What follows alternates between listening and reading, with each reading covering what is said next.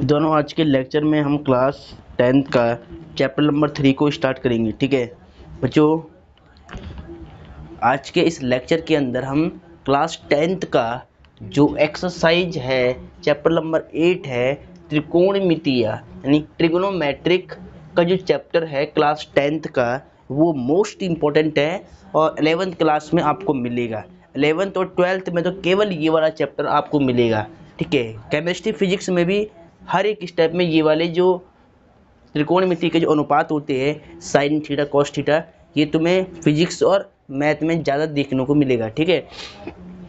तो तो बच्चों, आज के लेक्चर में हमें इस वाले चैप्टर के बारे में बात करनी है, ठीक है? इस वाले चैप्टर के अंदर जितने भी एग्जाम्पल्स है, यानी जितने भी उदाहरण है 8.1 के वो सारे मैं आपको समझाऊँगा। और जितना भी इसका बेसिक है 8.1 का वो सब आज आज मैं आपको इस वाले लेक्चर के अंदर समझाऊँगा ठीक है? जितने भी इसके बेसिक कंसेप्ट है वो सब बताऊँगा। तो देखिए यहाँ पर ध्यान से सबसे पहले आपको क्या करना है? हम्म, देखिए ध्यान से।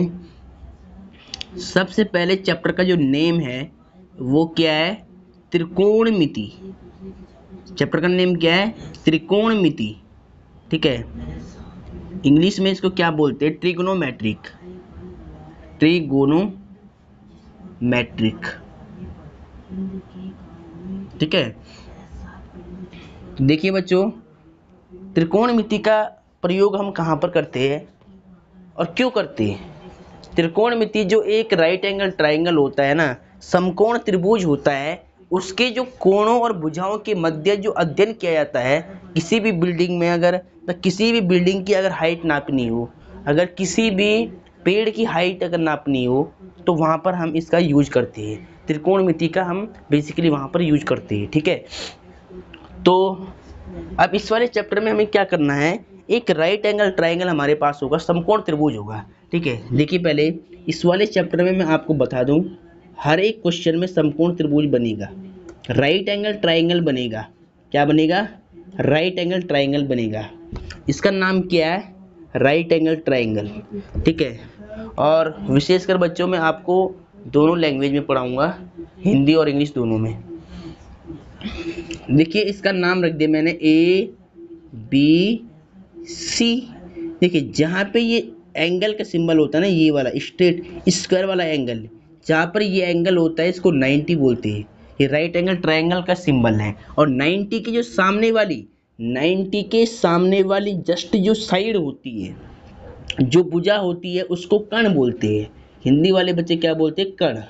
और इंग्लिश वाले हाइपोटेनिस हाइपोटेनिस ठीक है? हाइपोटेनिस और जो ये, देखो, अगर इस एंगल को मैं थीटा मानता हूँ एंगल ए को मैंने थीटा मान लिया तो इस थीटा के साथ में जुड़ी हुई जो साइड है, इस थीटा के साथ में जो साइड इंक्लूड है, जुड़ी हुई है, इसको बोलेंगे आधार। इस साइड का नाम क्या आधार। ठीक है, क्या नाम है इसका? आधार। और हिंदी हिंदी वाले क्या बोलेंगे? आधार। और इंग्लिश वाले क्या बोलेंगे? बेस क्या बोलेंगे? बेस बोलेंगे। ठीक है। अब देखिए, जहाँ पर आप एंगल लोगे इस वाले चैप्टर में केवल यही समझना है आपको कि जहाँ पर हम एंगल लेंगे जस्ट देखिए, मैंने इस राइट एंगल ट्राइंगल में ये एंगल थीटा लिया है तो थीटा के सामने वाले जो जस्ट साइड है, वो क्या होगी? परपेंडिकुलर लंब, ठीक है? एंगल जहाँ पर भी होगा, देखिए, यदि अगर एंगल थीटा में ले रहा हूँ तो थीटा के सामने वाली इस थीटा के जस्ट इस थीटा के जस्ट सामने वाली जो साइड है, इस थीटा एंगल के मतलब जस्ट सामने वाली जो साइड है, उसको परपेंडिकुलर बोलते हैं इंग्लिश वाले, और हिंदी वाले क्या बोलेंगे? लंब। क्या बोलेंगे? लंब। थीटा एंगल के सामने वाली जो साइड है, उसको हम क्या बोलेंगे? लंब। और इंग्लिश माध्यम वाले क्या बोलेंगे? परपेंडिकुलर क्या बोलेंगे? परपेंडिकुलर परपेंडिकुलर ठीक है?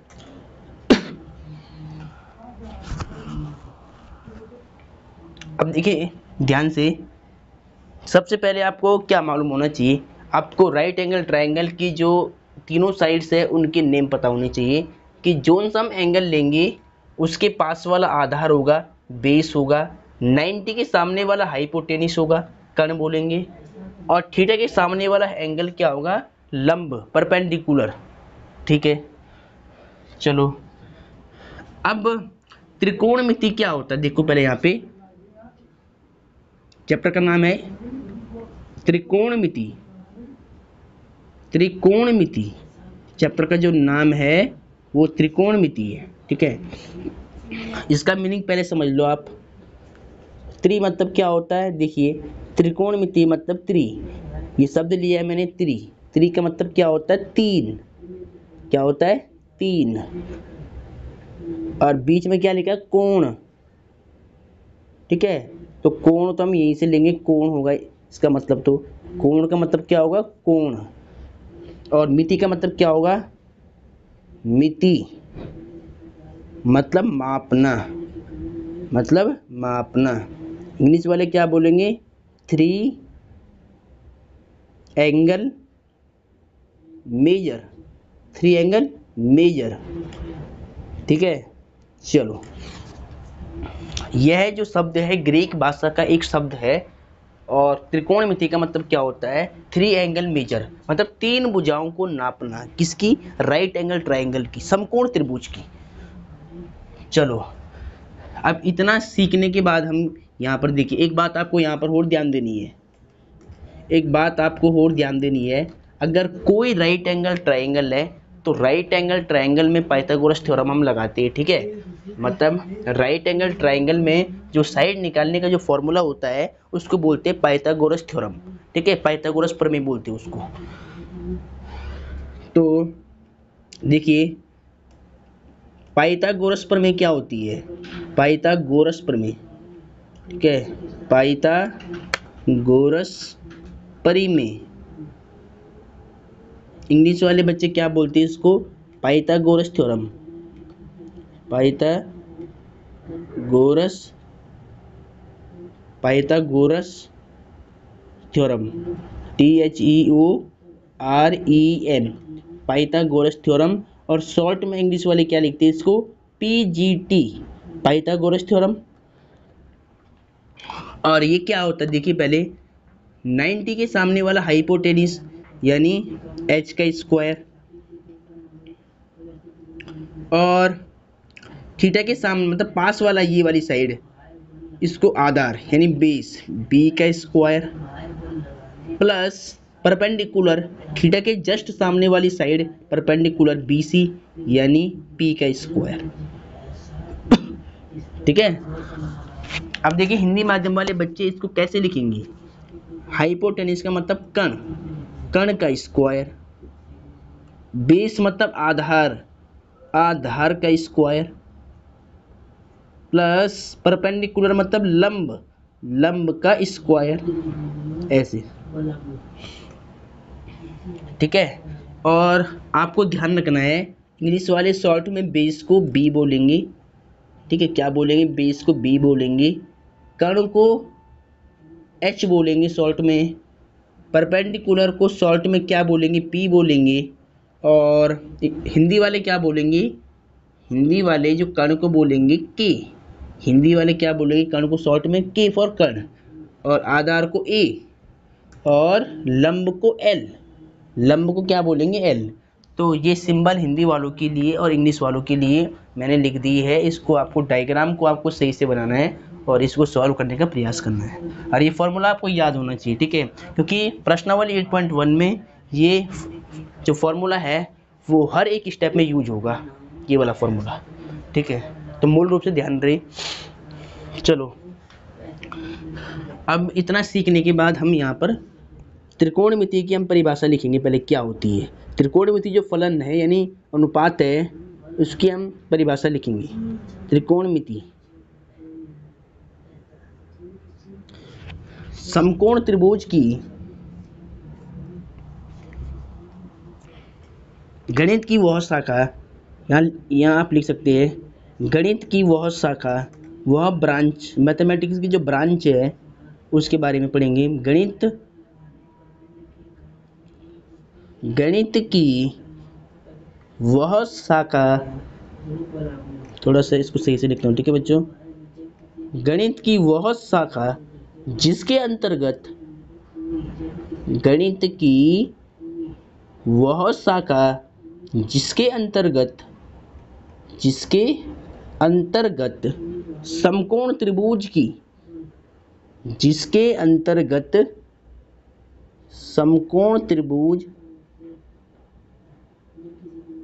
समकोण त्रिभुज की भुजाओं एवं समकोण त्रिभुज की भुजाओं एवं कोणों के मध्य, भुजाओं एवं कोणों के मध्य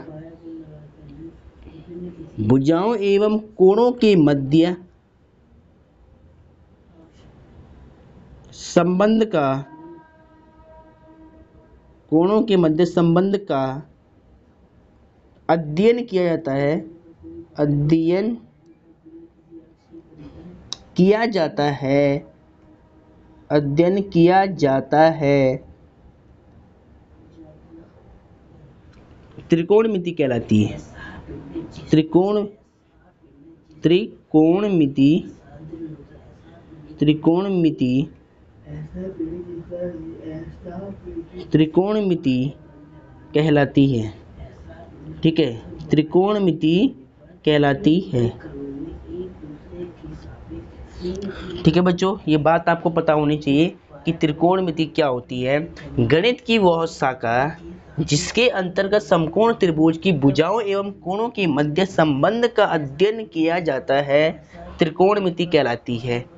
ठीक है? तो बच्चों, आपको यहाँ से इसको सही से नोट करना है। ये चैप्टर एकदम मैं बेसिक से समझा रहा हूँ डीप में। ठीक है? एकदम बेसिक से। ज़ीरो लेवल से ये चैप्टर स्टार्ट हो रहा है। इसीलिए जो भी अगर आपकी कहीं पे दिक्कत होगी तो आप क्वेश्चन पूछ लेना। ठीक है? तो पहले आप यहाँ पर ध्यान से देखिए, जितनी बातें मैं लिखवा रहा हूँ, वो आपको सही से नोट करनी है अपनी फेयर कॉपी के अंदर। ठीक है? चलो। अब देखिए आगे। मेरे साथ साथ आप वीडियो को पॉज करके इसको नोट करते रहिए। ठीक है?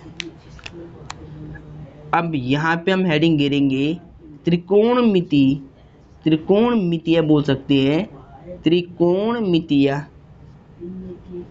त्रिकोण मितीय अनुपात। त्रिकोण मितीय अनुपात। इंग्लिश में भी आपको सीखना पड़ेगा। क्या बोलते हैं? Trigonometric trigonometric trigonometric ratio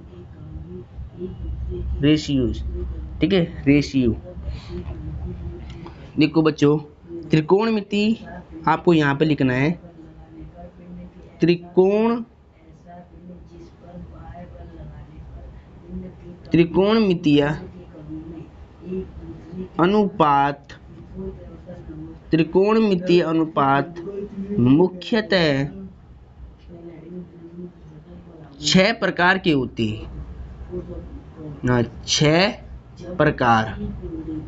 छह प्रकार के होते हैं। चलो, बहुत बढ़िया। सबसे फ़र्स्ट प्रकार आता है साइन। सेकंड बोलते हैं इसको। इसको क्या बोलते हैं? सेकंड लेकिन शॉर्ट में हम क्या बोलते हैं? साइन और इसके साथ में एंगल आप कुछ भी ले सकते हैं।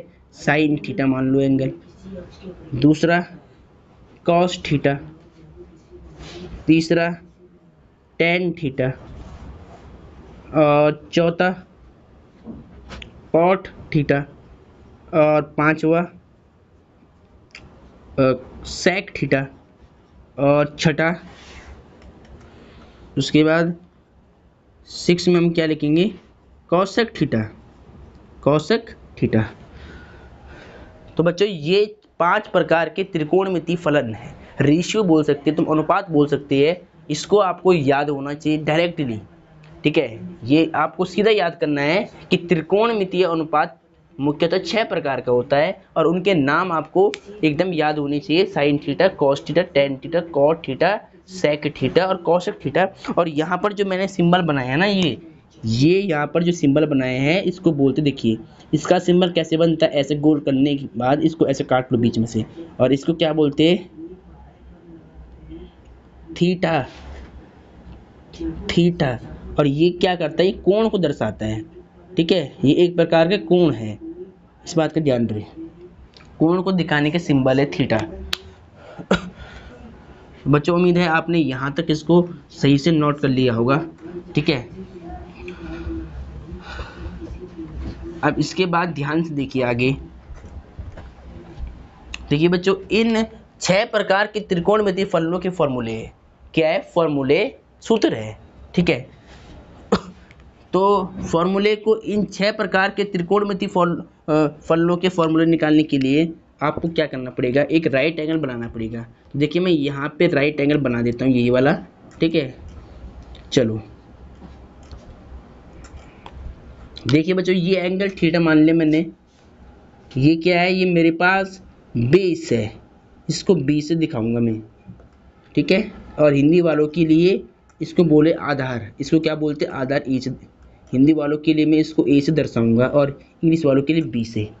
और इसको बोलते हैं हाइपोटेनिस इंग्लिश वाले इसको शॉर्ट में रिप्रेजेंट करते हैं कैपिटल एस से और हिंदी वाले इसको कर्ण बोलते हैं। तो हिंदी वालों के लिए मैं यहाँ पर के लिखूँगा के के फॉर कर्ण और थीटा के जस्ट सामने वाली भुजा क्या होती है? लंब।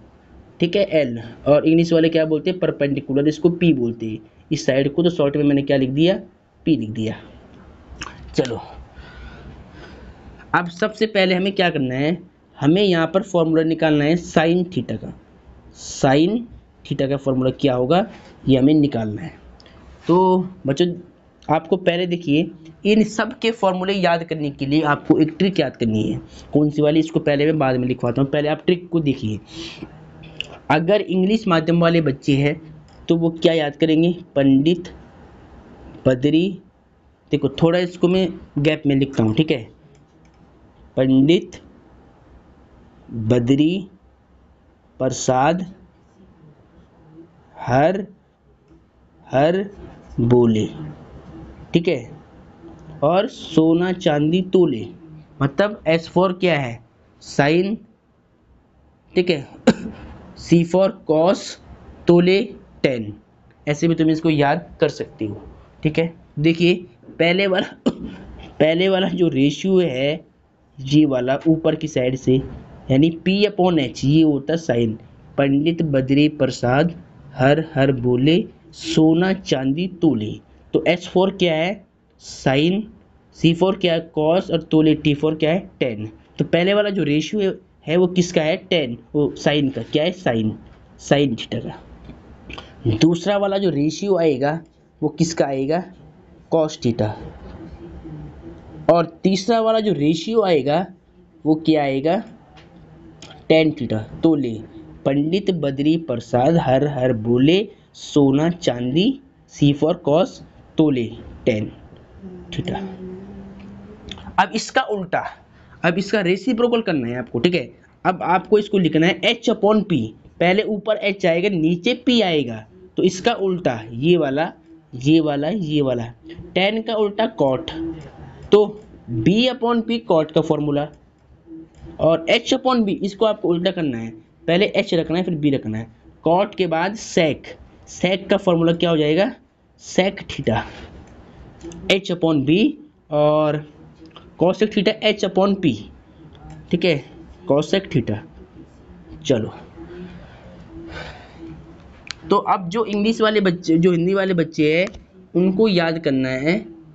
लाल L A L A L लाल बट्टे कक्का।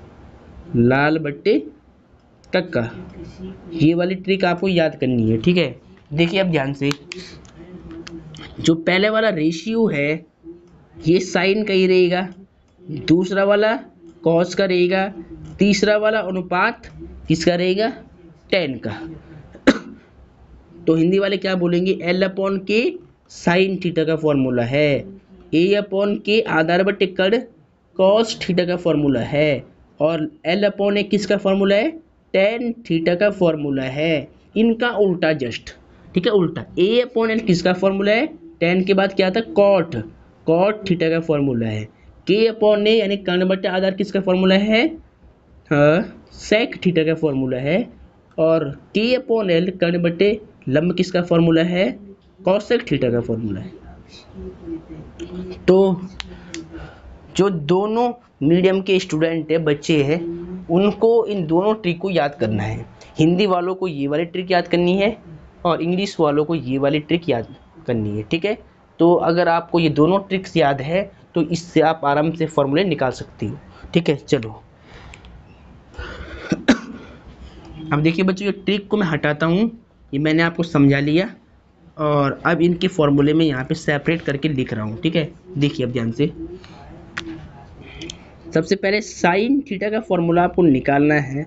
तो मैंने क्या बताया था? अगर साइन के आगे थीटा एंगल है तो थीटा के सामने वाला लंब, ये आधार, ये कण, ये परपेंडिकुलर ये बेस ये हाइपोटेनिस तो अब यहाँ पे ध्यान से देखिए आप पहले। ये साइन का फॉर्मूला था। इंग्लिश वालों के लिए मैं यहाँ लिख रहा हूँ, पंडित बद्री प्रसाद हर हर बोले। ठीक है? देखिए, साइन का फॉर्मूला था पी अपॉन एच और हिंदी वालों के लिए लाल बटे कक्का, यानी एल अपॉन के था। तो हिंदी वाले तो यहाँ लिखना L upon K L upon K और एल फोर क्या होता? लंब। और के फोर क्या होता? कर्ण ठीक है। और इंग्लिश वालों के इंग्लिश हम्म, वालों के लिए भी मैं बोल देता हूँ एल यानी इंग्लिश वाले यहाँ पे क्या लिखेंगे? साइन को ये पी अपॉन एच क्या लिखेंगे? पी अपॉन एच पी को क्या बोलते हैं? परपेंडिकुलर परपेंडिकुलर और एच बोलते हैं हाइपोटेनिस सॉरी हाइपोटेनिस और कॉस थीटा हिंदी वाले ये वाला आधार बटे कण ए अपॉन के अब आधार क्या है? थीटा के लिए आधार क्या है? ए बी यानी आधार। हम यहाँ पे क्या लिखेंगे? आधार। आधार बटे कण और इंग्लिश वाले क्या लिखेंगे? आधार को क्या बोलते हैं ये लोग? पी अपॉन एच क्या बोलते? B upon H B for base H for hypotenuse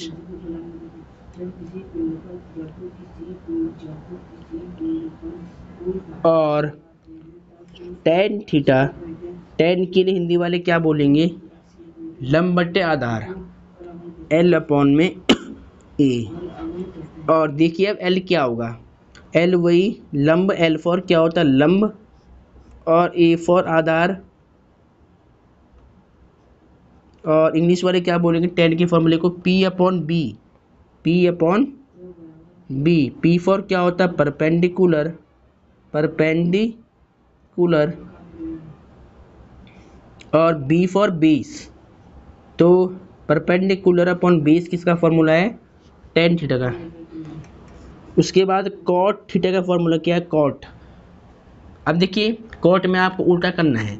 A upon L यानी आधार बटे लंब। ए फॉर आधार और एल फॉर लंब। ये जो फॉर्मूला है, ये है तुम्हारा कॉट थीटा का। और इंग्लिश वाले क्या बोलेंगे? कॉट को B upon P B upon P यानी बी फॉर बेस और पी फॉर परपेंडिकुलर परपेंडिकुलर चलो। और सेक थीटा हिंदी वाले के अपॉन ए ये ना सेक लिखा हुआ। के अपॉन ए यानी कर्ण बटे आधार। के फॉर कर्ण ए फॉर आधार। चलो। ठीक है? देखिए इंग्लिश वाले क्या बोलेंगे? सेक को H upon B H upon B H for hypotenuse और बी फॉर बेस चलो, एक फॉर्मूला हो रहे कौशक थीटा हिंदी वाले क्या बोलेंगे? के अपॉन एल यानी के फॉर कर्ण एल फॉर लंब। अब जरा यहाँ पर ध्यान से देखिए। कण क्या है? वो इंग्लिश वाले क्या बोलेंगे? H upon P cosec theta को क्या बोलेंगे? एच अपॉन पी तो एच अपॉन में पी एच फॉर हाइपोटेनिस और पी फॉर परपेंडिकुलर परपेंडिकुलर ठीक है, चलो। और ये छह प्रकार के फॉर्मूले बच्चों जो 8.1 में एक्सरसाइज 8.1 में यूज़ होगी। एक्सरसाइज 8.1 के हर एक क्वेश्चन में ये वाले फॉर्मूले यूज़ होने हैं, इसलिए सभी बच्चे इनको ट्रिक से याद कर लें। इसको आपको सीधे याद नहीं करना है, आपको ट्रिक पहले इसको याद करें ट्रिक को याद करनी है। अगर हिंदी वालों ने ये वाली ट्रिक और इंग्लिश वालों ने ये वाली ट्रिक याद कर दी तो ये चैप्टर फिर कुछ नहीं है, ठीक है? तो इतना पहले आप नोट कीजिएगा।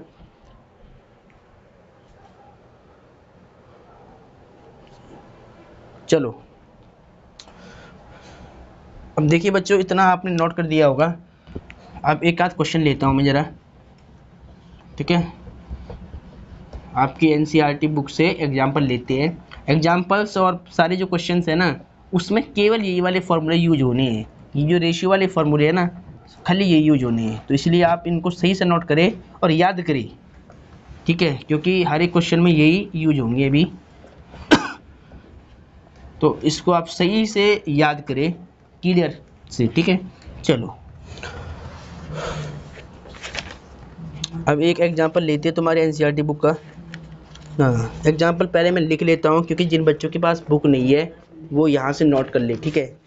तो पहले मैं एग्जांपल को यहाँ लिख देता हूँ फटाफट। देखिए, आपकी एन बुक का एग्जांपल फ़र्स्ट है कि यदि tan A if tan A is equal to four by three तो कोण ए के, कोण ए के अन्य त्रिकोणमिति, अन्य त्रिकोणमितीय अन्य त्रिकोणमितीय त्रिकोणमितीय अनुपात। अन्य त्रिकोणमितीय अनुपात। ज्ञात कीजिए। ठीक है, चलो। अब देखिए बच्चों ध्यान से। इसमें आपको एक बात ध्यान देनी है। पहले तो हर एक क्वेश्चन में आपको एंगल दे के रखिएगा। जो त्रिकोणमितीय अनुपात पूछेगा, वो एंगल ए एंगल थीटा है ना? मतलब एंगल दे के रखिएगा। अगर एंगल नहीं देगा ऐसे जिस तरह से पूछ लिया कि टेन ए बराबर चार बटे तीन तो कोण ए के अन्य त्रिकोणमितीय अनुपात ज्ञात कीजिए। देखिए, यदि अगर एंगल नहीं भी देता है तो आपको वहाँ पे थीटा मानना है। कोई से भी एंगल मान लो। और जोन से एंगल को आप थीटा मानोगे ना, उसके सामने वाला क्या हो जाएगा? लंब, और उससे जुड़ी हुई जो साइड हो जाएगी ना, वो होगी आधार। बीस चलो। तो ऐसे सवाल में देखिए बच्चों, आपको बोर्ड एग्ज़ाम में कैसे लिखना है, मेरा पूरा फोकस आपके सीक्वेंस पर रहेगा। मेरा जो फोकस रहेगा वो आपकी सीक्वेंस पर रहेगा कि आपको बोर्ड एग्ज़ाम की कॉपी में कैसे लिखना है इसको, पूरे मतलब सीक्वेंस के साथ। ठीक है? तो देखिए पहले यहाँ पर ध्यान से। सबसे पहले हिंदी वालों, हिंदी वाले जो बच्चे वो यहाँ पे हल लिखना और चाहे तो आप यहाँ पे सॉल्यूशन में लिख सकते एक ही बात है। ठीक है, चलो। उसके बाद दिया है। ठीक है। इंग्लिश माध्यम वाले क्या लिखेंगे? गिवन और हिंदी माध्यम वाले क्या लिखेंगे? दिया है। ठीक है? देखिए, हमें क्या दिया है? हमें दिया है कि टेन ए एक त्रिकोणमिति अनुपात की वैल्यू दे रखी है टेन ए की। चार बटे तीन। और हमसे पूछता है कि कोण ए के अन्य सभी त्रिकोणमिति अनुपात ज्ञात करो? ठीक है? देखिए पहले यहाँ पर। कोण एक के अन्य सभी का मतलब क्या है? कि जो छह प्रकार के त्रिकोणमिति अनुपात हमने पढ़े थे, उनमें से एक हमें दे रखा है टेन बाकी के जो पाँच है ना, बाकी के देखिए, जो छह प्रकार के sine cos tan cot sec cosec ये छह प्रकार के रेशियो है ना, इनमें से एक प्रकार का हमें दे रखा है। इसकी वैल्यू हमें दे रखी है चार बट्टे तीन। हमें इन दो और इन तीन, यानी इन पाँचों की बतानी, इसकी और इसकी वैल्यू बतानी है कि क्या आएगी। ठीक है? तो क्वेश्चन आप समझ गए होंगे। तो अब यहाँ पे ध्यान से देखिए, कैसे हम इसको सॉल्व करेंगे। इतना लिखने के बाद आपको क्या करना है? आपको यहाँ पर सबसे पहले एक समकोण त्रिभुज राइट एंगल ट्राइंगल को ड्रॉ करना है। क्या करना है? राइट एंगल ट्राइंगल आपको यहाँ पर ड्रॉ करना, बना देना है। ठीक है? अब देखिए ध्यान से। एंगल ए दिया है ना इसने यहाँ पर तो एंगल ए को आपको यहाँ पे रखना पड़ेगा। ठीक है? जहाँ पर भी आप एंगल ए रखोगे ना तो उसके साथ वाला आधार हो जाएगा बेस हो जाएगा, और उसके जस्ट सामने वाले फ्रंट वाला परपेंडिकुलर या लंब। ठीक है? ए इसको बी मान लो, इसको सी मान लो। ठीक है? अब देखिए, अब आपको क्या करना है? सिंस हम जानते हैं टेन ए बराबर। टेन ए का फॉर्मूला क्या था? अगर ट्रिक याद नहीं आ रही है तो लाल बट्टे कक्का। हिंदी वाले क्या बोलेंगे? लाल बट्टे कक्का। ठीक है टेन का फॉर्मूला क्या होता है? लास्ट वाला। एल अपॉन ए और इंग्लिश वाले क्या बोलेंगे? पंडित बद्री प्रसाद हर हर बोले। लास्ट वाला फॉर्मूला ये होता है टेन का पी अपॉन बी तो मैं तो विशेषकर हिंदी माध्यम के लिए बना रहा हूँ। तो मैं यहाँ